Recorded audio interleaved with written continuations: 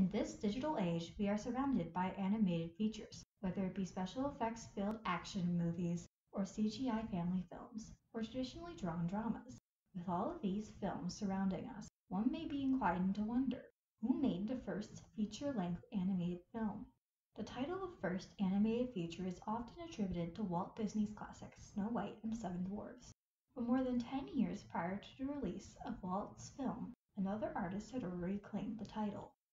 Lotte Reiniger was born in Germany at the end of the 19th century. Growing up, Lotte became fascinated by the rising medium of cinema, so much so that she wanted to become an actress.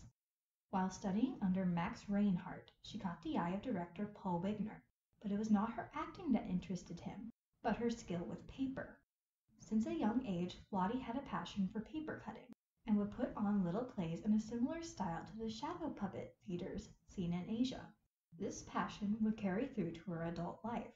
Wegener would commission Lotte to make title sequences of two of his films using her signature paper cutouts and thus Lotte went from an aspiring actress to a professional animator.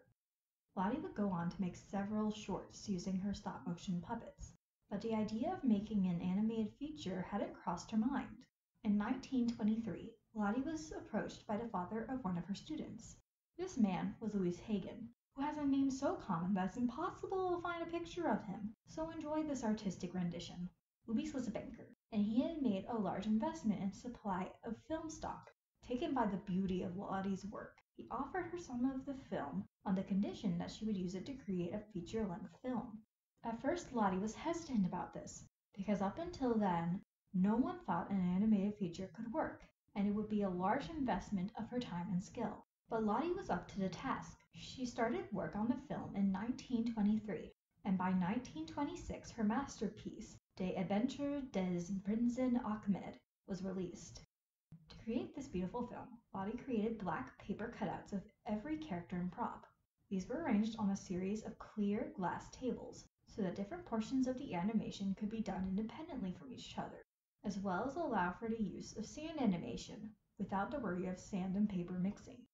This device would become the predecessor of Walt's invention, the multiplane camera. Unfortunately, the version of Lotte's film that we have today is a copy of copies the original film, like many other works of art, was lost in the 1930s thanks to the Nazis. Both Lotte and her husband were very left leaning politically, so when they saw the Nazis rise to power in their home country of Germany, they knew they needed to get the heck out of there. And unfortunately, Lotte was unable to take Ahmed with her.